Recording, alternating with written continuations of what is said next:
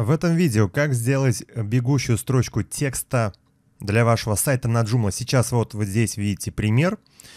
А, можно настроить цвета, размер, вы сами видите цвет ссылки, повесить ссылку. Также можно вывести не только произвольный текст, также можно вывести статьи Joomla.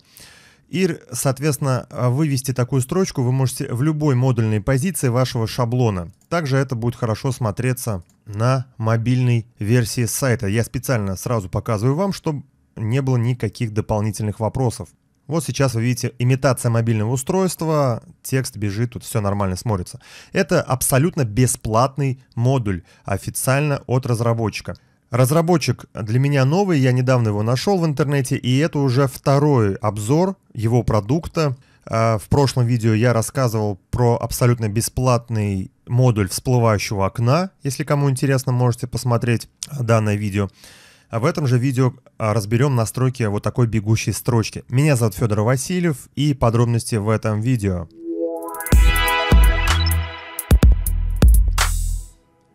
Итак, модуль устанавливается как обычно, у меня он уже установлен, это расширение, менеджер расширения установить, модуль просто перетаскиваете сюда, и давайте сразу я покажу в начале, как его и где скачать. Ссылку, прямую ссылку вот на скачивание а, данного модуля, сейчас перед вами страница разработчика, я оставлю а, на своем сайте, ну, соответственно, ссылку на сайт в описании под этим видео, если вы меня смотрите с YouTube. Здесь ничего не требуется, никакой регистрации. Переходите на этот сайт разработчика и просто вот здесь кнопка «Загрузить», нажимаете и скачиваете данный модуль на компьютер. Итак, я перехожу расширение модули.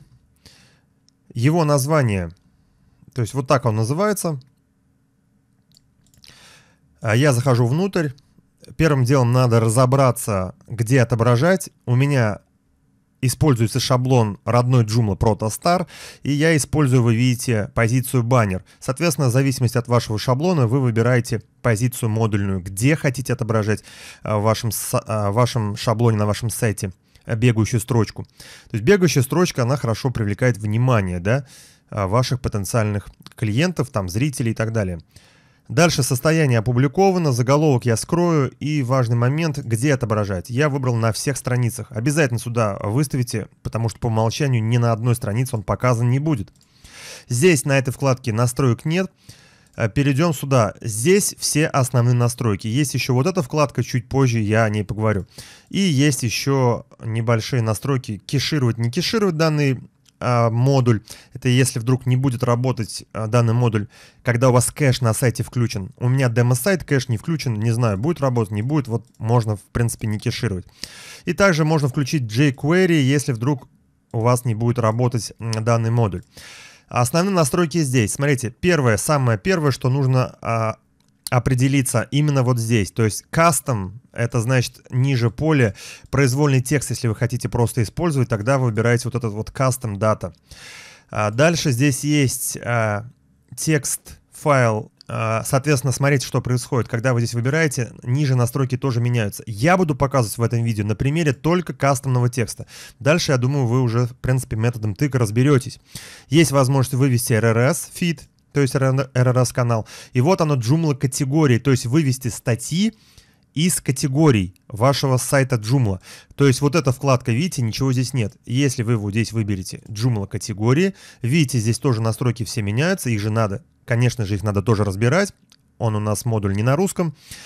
И как только здесь вы выбираете Joomla категории, здесь а, сразу вы можете выбрать, смотрите, из каких категорий отображать. А, по меткам, Здесь, в общем, я детально останавливаться не буду. Думаю, здесь вы сможете разобраться, именно если выводить статьи. Я хочу более детально показать на примере кастомного текста. То есть вот именно вот этого варианта. Здесь, вот это ниже поле, оно поддерживает HTML. Вы видите сами, что я использую теги. А, разметки HTML. Этот текст, вот он уже здесь. «Привет, мир», имеется ссылка. Это эмодзи, просто иконка взята с интернета. То есть по факту здесь нет возможности загрузить иконку с модуля. Вы можете просто найти какие-то иконки шрифтовые и просто вставить сюда методом копирования. Вставить. Я просто написал «Привет, мир», э, добавил ссылку. Следующий параметр, скорее всего, вам не понадобится. Переопределяющий параметр гиперссылок. Я думаю, вряд ли вы будете это использовать. А, именно если вы хотите, смотрите, например, сделать ссылку своего цвета. То есть, то есть например, у меня текст, видите, синим, ссылка красная. Font size а, — это у нас шрифты. По умолчанию у меня стоит, если хотите выбрать какие-то свои из предложенных, то есть Georgia, Arial шрифт для данного текста выше вот здесь. Я оставляю default. А дальше как раз-таки color. Вот здесь вот можете выбрать любой цвет именно просто текста. Вот у меня синий привет, да? Дальше ссылка. А цвет ссылки я сделал красный. Это здесь ниже. Link hover color, то есть это смена цвета при наведении мыши на ссылку. Если хотите поменять, вот здесь спокойно можно сменить. И background color, давайте наглядно покажу. То есть это вообще будет заливка. Видите, у нас такая появляется плашечка, и по этой плашечке у нас по зеленой идет наш текст. Я использовать это не буду. Дальше border style. Изначально не выставлено ничего. И, то есть border это рамка, да, то есть solid сплошная, и есть другие варианты, там пунктирная, точкой, двойная и так далее. Например, выбирая сплошная, здесь э, задаем толщину рамки, например, 10 пикселей, а здесь цвет рамки. Пускай будет синяя. Сохранюсь, обновлюсь. Вот вы видите, в рамке у нас бежит наш текст. Ну, соответственно, рамку я использовать тоже не буду.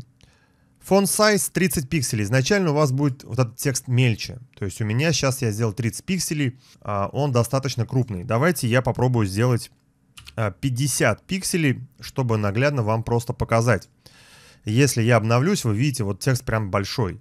Дальше область высоты, ширины, вот эта область модуля авто стоит. В принципе, здесь все нормально, я думаю, стоит, трогать это не надо. А дальше, button margin — это отступ снизу. Изначально 0 пикселей, можете поиграться, посмотреть. Вот это у нас speed — это скорость. 10 а, тысяч миллисекунд именно движение нашего текста. Хотите быстрее или медленнее, поиграйте с этими параметрами.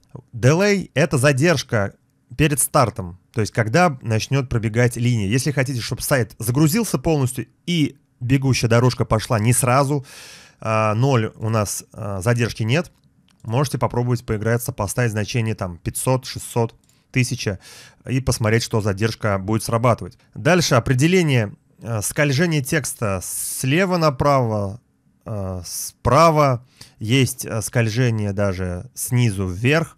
И, соответственно, обратите внимание, меняя параметры, добавляются какие-то другие параметры. Там есть скачками, более резко двигается. В общем, здесь можете поиграться. Я оставляю по умолчанию. Следующая опция, если дословно перевести, направление силы справа налево стоит да, нет. Ну, я не увидел разницы. Думал, как-то, может быть, более резко будет текст выскакивать. Следующая опция, вот это у нас выключена. Если включаем yes, это дубликат. И если, обратите внимание, мы ее включаем, появляется вот эта дополнительная опция. Это дубликат текста, то есть «Привет, мир», и сразу же с ним следует тот же самый текст «Привет, мир». Если вы вот это значение уменьшите, например, до десятки вместо 50, то вы сразу увидите друг за другом идущий один и тот же текст при включении вот этой опции. Пауза on hover, то есть э, делать ли паузу при наведении мыши. Ну, это полезно, наверное, если вы используете там ссылку. Вот я мышь навел на текст, видите, текст остановился. Думаю, это полезно. Если хотите отключить, включаете No, и пауза не будет срабатывать при наведении мыши на данный текст. Для тех, кто не знает и кому нужен сайт, у кого нет времени, кто сомневается, вы всегда сможете заказать сайт лично у меня, позвонив мне бесплатно на мой телефон через приложение Viber или WhatsApp. Сейчас вы видите мой телефон у себя на экранах. Звоните, давайте обсудим ваш проект. На этом данное видео я заканчиваю. Надеюсь, для вас все было интересно и полезно. И увидимся с вами в следующих видео.